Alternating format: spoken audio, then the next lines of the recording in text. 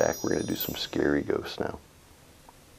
Um, Scooby-Doo was where I learned everything I needed to know about scary ghosts. They're always, well, aside from the fact that in Scooby-Doo most of the time the ghosts were somebody in a suit that was uh, painted with like fluorescent paint or something. We're going to kind of keep with the, the whole sheet idea for a second. You can kind of have uh, that nebulous feeling, right? With the sheets, we come back to the whole idea of the, the tatters. And you can make them a little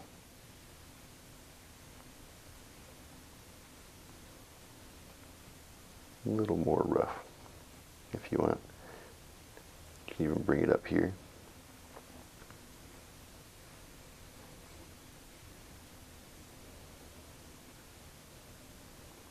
And so for this one, I'm actually going to add just a little bit of a volume to it. So you can see that there's nothing inside there. And I'm going to do sort of a scary hood. Like I said, there's nothing inside there, but we're going to do this. We're going to just add some angrier eyes.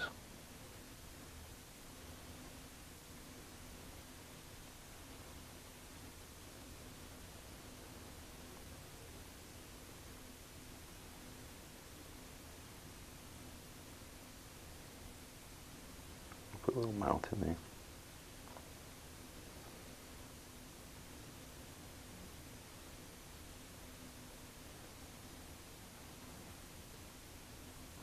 So I'm going to add a little bit of extra detail there. A little bit extra depth.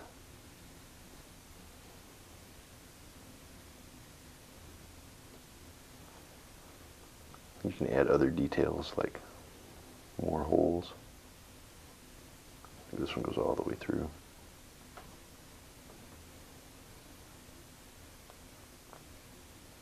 Can add more ruffles and tatters. So it's kind of layered.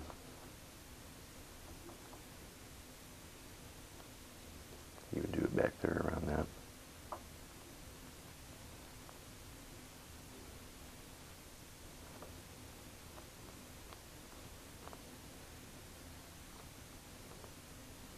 Add a couple of wrinkles because it's fabric.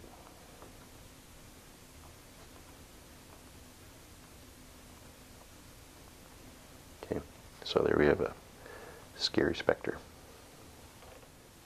I'm going to add one more other ghost over here. We'll keep with the uh, the flowing robes.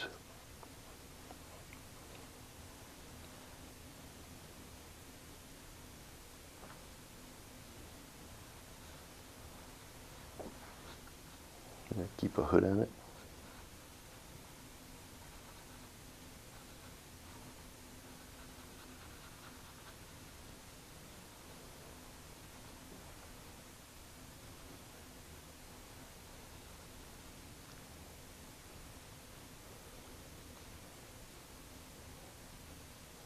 This one I'm going to leave empty on the inside.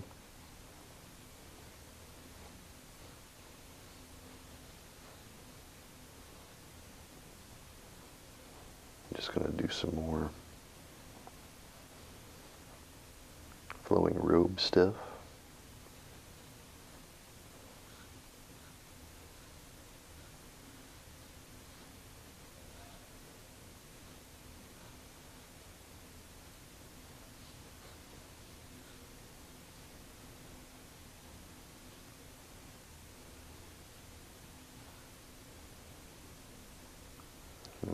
actually give this guy some hands even though you can't see his face.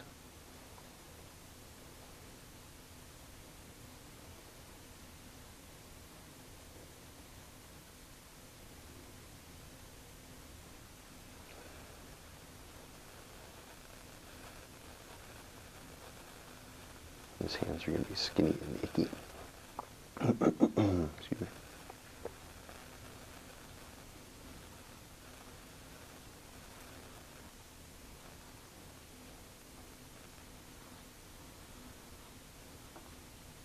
Going to add one more prop here.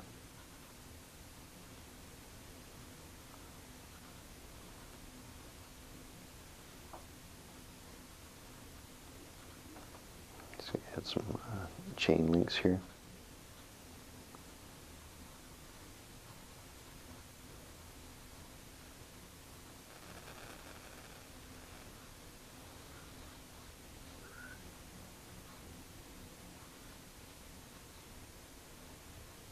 We're gonna put a little uh, little lantern down here.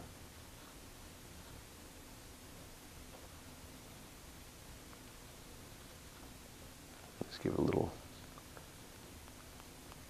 little glowy lines there.